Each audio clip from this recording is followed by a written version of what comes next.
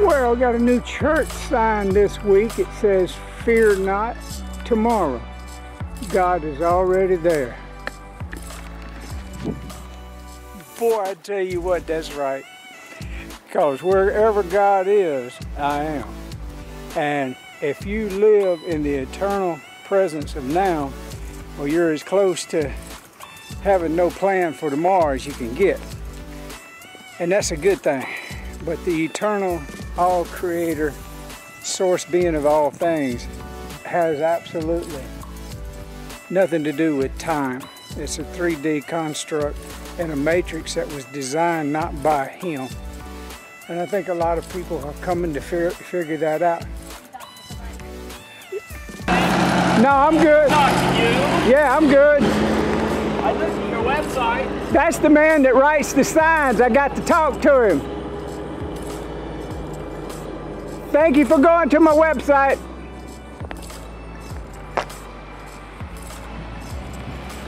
All right, the people just leaving. A little bitty young guy driving the tractor. And he's getting it. Look at it. His wife is a retired school teacher and he does the signs. I had a good conversation with her talking about what I felt like this sign was showing me in the spirit. And um, man, it's really hard to talk about that God has nothing to do with, with this reality, this time, this 3D matrix construct that we are in separation from our loving Father and Creator, source being of all things. But that's the facts, and that's what people are waking up to. All the dirty deeds are being shouted from the rooftop. Even things yet to come are showing up in reality to wake us up, to show us that God had nothing to do with this reality, this earth. A lot of people think it's, it's, it's impossible when I say that. But if you really think about it and you really read the scriptures, you'll see that it's set up that way because we were put, put to sleep and we were put under a strong delusion. And that delusion is that, yeah, that's, that's a tough one, boy, when you go to talking about the matrix and, and how it is such a, a, a delusion to believe that we could actually know anything about this reality. Or God, for that matter. But what happened was in a short synopsis, the creator gods. I was told there was 21 Nephilims. They fell to earth. Yeah, well, they fell to 3D to a point where they were able to use their creator God beings intellect and maybe whatever, some kind of technology that they used to make this soul trap a reality place for us to be trapped in for eternity. And it's endless until you wake up and you realize that you never die. You never have been born. It's just a, a, a time when you were, and then there's time when you're not.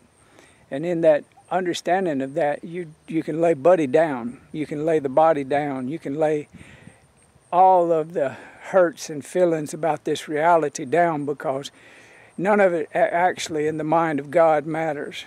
It, and it needs not to matter in your mind. When it doesn't matter, it can be fixed. But when it matters too much, it, it can't be fixed. And, it, and it, you just end up coming back through the cycle of life and death and not be able to bring memory through death. The key is to be able to bring memory through death remember who you are, stand up in the I am, and recognize that yes, you're separated from your Father, Mother, God, the source being of all things. But you're breaking the cycle for the whole, for the all. And the unity of the consciousness of the I am awakening in a body, a physical reality where we can change the matrix with our thinking. That's what's happening on so-called planet Earth. It's a deep well when you get to talking about it, and you. but I love, I love that uh, a simple conversation can lead into a world of understanding for not only myself but for others. So if you don't get me on this, when I say soul trap, it's where the ones that made this reality, this construct, this three dense reality, they also made the afterlife, uh, where you go to the light and you, it's just a trap. And so people say, well, what do you do, buddy? What's the, what's the proper way to exit? Well, you stand up in the light that you are. And it tells us in the scriptures that we are the light that, that is the light. And you stand up in that, and when you do look at the light, you realize you don't have to go to the light. You are the light.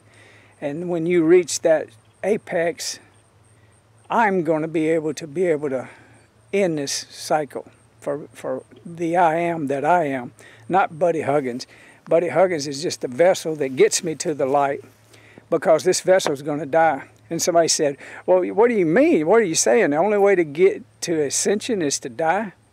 And guess what? if you can do it any other way uh, and have uh, a rainbow ascension, more power to you. but uh, I think it's a little more complicated than all that. It's enough to just have uh, peace in your mind on a daily basis. Look, this is running long. I got to go. All right, the other side of this uh, sign is really good too, so I'll do a video about it later. So, all right, thanks for watching my videos and leave a comment. Tell me what you think this sign means to you. Thank you. Marcel? Reliable. Okay, reliable. What year model is it? 19. A 19. They get you a good deal on it? I thought so. Okay. How many miles you got on? I don't know that many. Not that many, huh? It sure is pretty.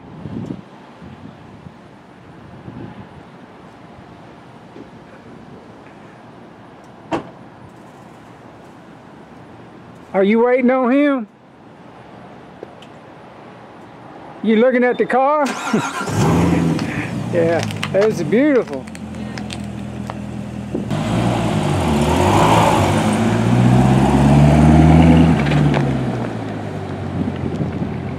Well, I took a picture of a Corvette. Now I took a picture of this really slick looking Jeep. It's, it's he told me it's his daughter's, and I said, "Is she uh, is she Navy SEAL, Green Beret?" Because it's military. Looks got that look, you know. But uh, no, he said it's his daughter. She really likes it. So, let me tell you this: the guy that does the signs for the church, him and his wife are in here right now. So I asked him, could I ask him a couple questions and asked him about how did he come up with the writings for the sign? Was he using Bible scripture or something that had to been, you know, said in church? Or, but he told me, he said, no, um, I'm just turning over pages in a book that has sayings about church signs, and I just pick pick one I picked. And I said, okay. Well, somebody had asked me in, in the comments that I really needed to know who who was doing the sign writing and talk to them and uh, find out how they were doing it, and that's how they're doing it. So I thought I'd throw that in here at the end of this. I'm at three laps by the. I just don't know. I'm gonna go to my turnaround and see how I feel.